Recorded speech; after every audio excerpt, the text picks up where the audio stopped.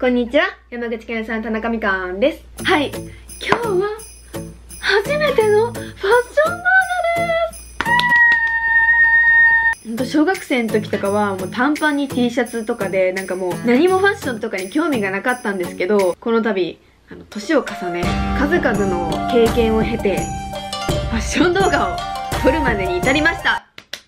晴らしいでございますね。春服購入品紹介をしたと思うんですけれども、GU で買った、あ、ちょっと脱いだ方が分かりやすいか。ボーダーを使ってコーディネートを3つ組んでみました。GU のボーダーボードネックティーで長袖、ネイビーを買いました。この値段は1490円です。安いね。あんまりね、GU で買い物とかしたことなかったんですけど、安いものってやっぱあんまり良くないのかなって思ったんやけど、いいわ、普通にもうなんか、全然これでいいって思っちゃう。そんな GU。ぜひ皆さん行ってみては？いかがでしょうか？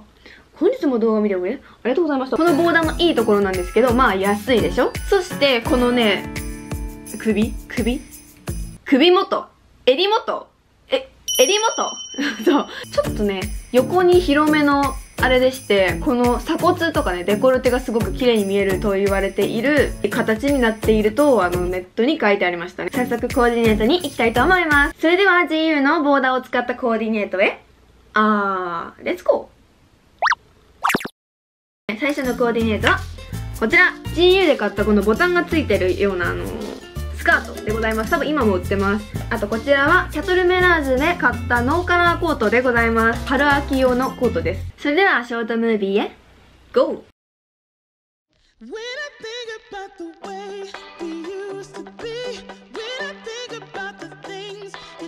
はいこちらのコーデはちょっとねきれいめに大人っぽく着てみました。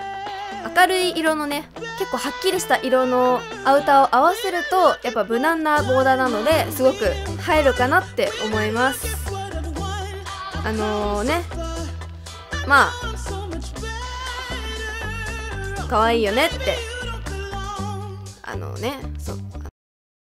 はい次のコーディネートはこちらグローバルワークで買ったえっとねなんていうやつだっけねこれもう名前すぐグローバルワークで買ったスプリングショート丈のコートでございます。まず、まあ、ベルトは、えっとね、ユニクロで買いました。ゾゾタウン限定のブランドのクティールっていう結構プチプラブランドがあるんですけど、ハイウエストストレートデニムを買いました。リッキーズのウエストポーチです。はい、ということでね、ショートムービーへ、GO!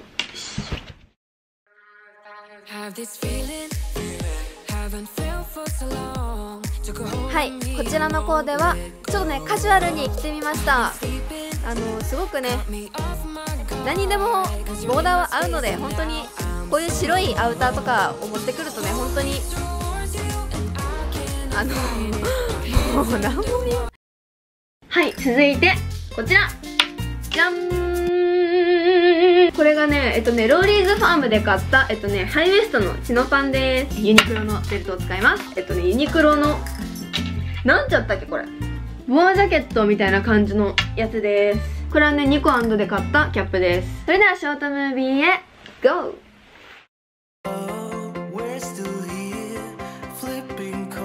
はい、えっと、こちらのコーデはちょっとねボーイッシュに着てみましたボイッシュにねキャップとかかぶるときはちょっと髪型を女の子らしさを出すのがポイントでございます。あとねちょっと思ったのがあのねこのちょっとおしゃれな V を作っとるのにあのしゃ私がしゃべることによってなんかおしゃれじゃなくなる気がするんよね。なんかあのさもうはいということでねいかがだったでしょうか、はあ、大丈夫？これ大丈夫？